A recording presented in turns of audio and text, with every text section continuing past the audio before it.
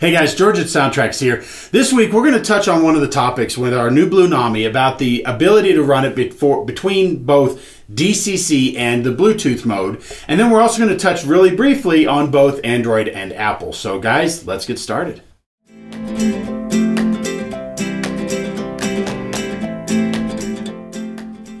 Now, one of the things that we've talked about it, with our Blunami is the fact that you can run it on a DCC system as well as the Bluetooth wireless control app on your smart device. Now, one of the questions that has come up over time is how do I switch back and forth? Well, right now I have this Santa Fe locomotive here in front of me, locomotive address 52, and I've got it running on the DCC system. So I can blow the horn, I can ring the bell, I can move the locomotive in various ways and so forth.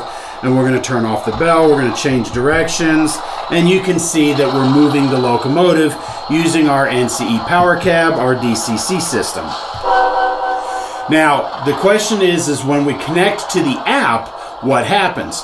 Well, over here on my iPad, I do have myself connected to the locomotive, but I have not actually connected and communicated with it. I'm just paired up to it. So I can still run it on my DCC system even though I am connected. But now when I actually go into the throttle mode, now my app is going to communicate with the locomotive.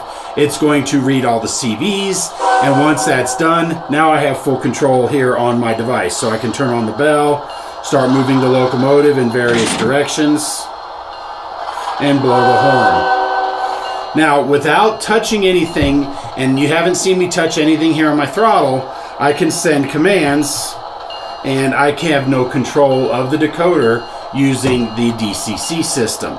Now, the reason for that is it wants to make sure that when you're operating using the Bluetooth, that somebody else doesn't come in and start trying to send commands to your same locomotive.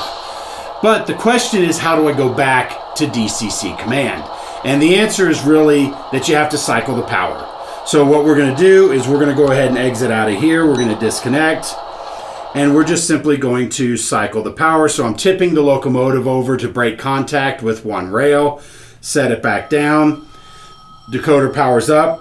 Now I'm back controlling it using the DCC system.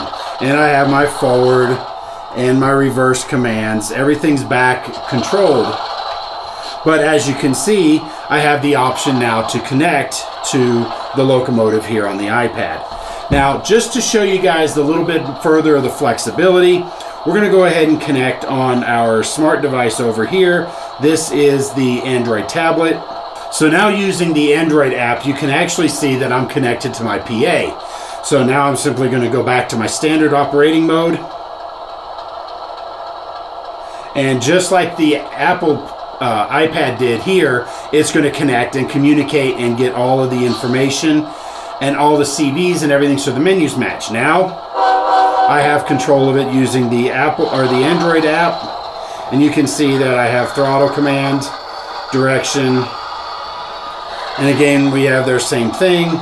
We have our bell, longhorn, shorthorn, and then now when I go back to my DCC system, as you can see, the decoder is ignoring the DCC commands.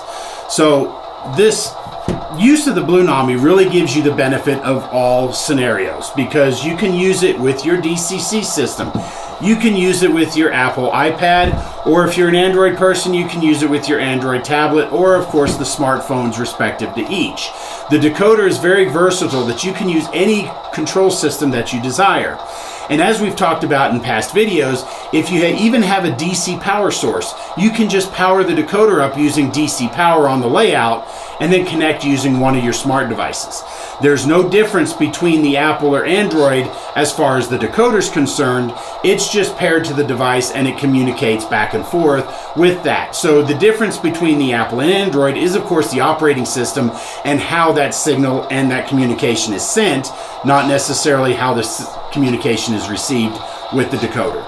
So all of you guys out there that are Apple, Android, or just DCC, all of you guys can get all of the benefits of the Blunami.